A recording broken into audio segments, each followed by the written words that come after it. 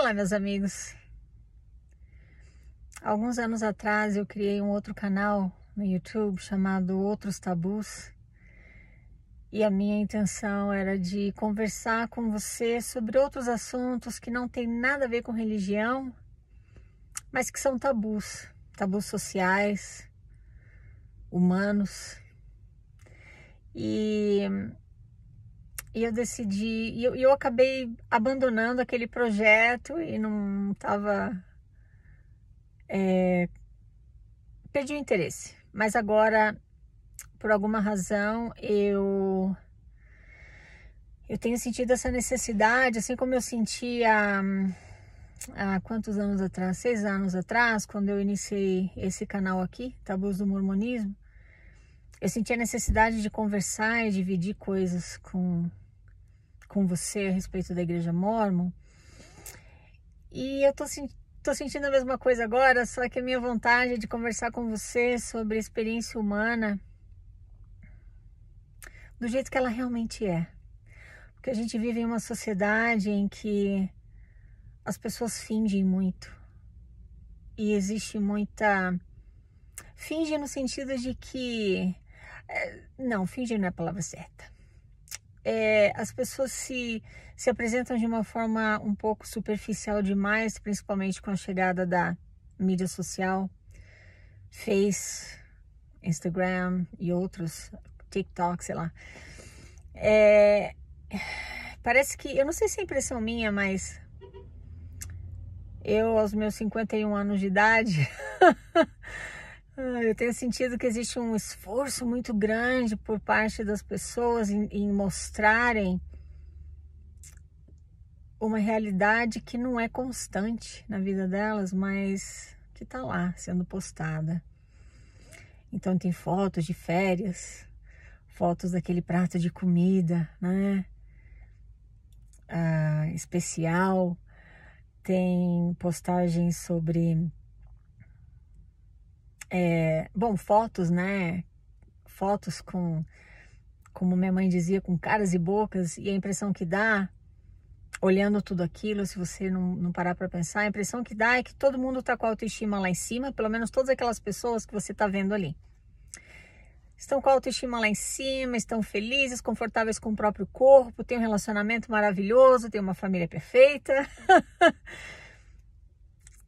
que elas conseguiram chegar aonde você nunca vai conseguir.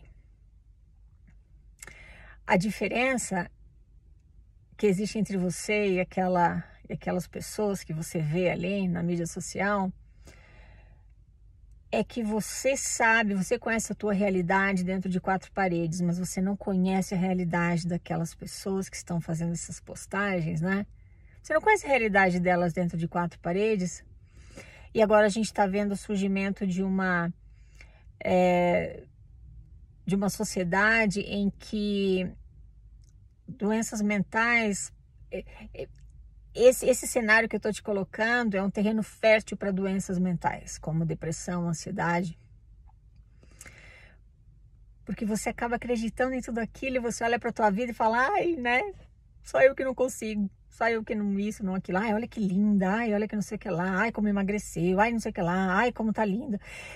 Ai, trocou de carro, enfim. A gente tem essas coisas e, e isso me isso me incomoda. Já faz um tempo que me incomoda. Ai, deixa eu trocar o braço aqui, né? Que eu decidi fazer esse vídeo aqui no carro, né? Me deu, me sobrou um tempinho hoje. é, e aí eu tô segurando o telefone, né? E canso o braço. Então, assim, a gente. Existe um estigma, né? Com relação a doenças mentais, porque as pessoas falam, ah, precisa se tratar, como sendo algo ofensivo. Ah, vai se tratar ser desequilibrado, sei lá o quê, ah, porque inveja, sabe? Umas coisas assim que não fazem, que não fazem sentido porque nós somos seres humanos.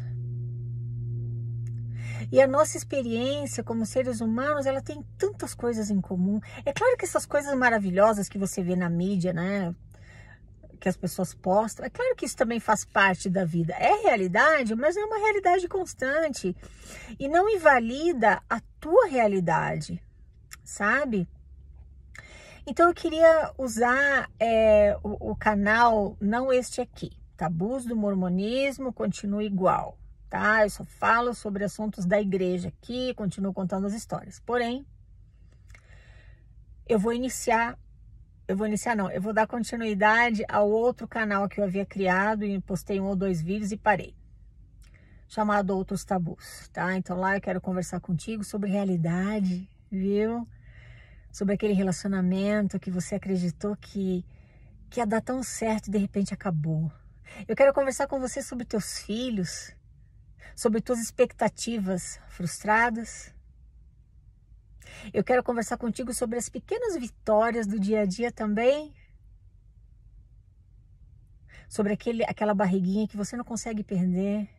Sobre aquela ruguinha que você não consegue esconder. Cabelo branco. Eu quero conversar contigo sobre como você realmente se sente no teu corpo, na tua pele, no teu ambiente, na tua vida. Com total vulnerabilidade, sem julgamento, sem tentar impressionar, sem tentar passar uma realidade que não existe. Eu acho que já existe. Por que eu decidi fazer isso também? Porque existe já espaço na mídia para para toda essa, para todo esse glamour que as pessoas gostam de de colocar, mas a gente precisa conversar também sobre sobre a realidade da experiência humana viu? Eu queria abrir esse espaço para você conversar comigo sobre essas coisas sem julgamento. Sabe aqueles medos que você tem? Sabe aquelas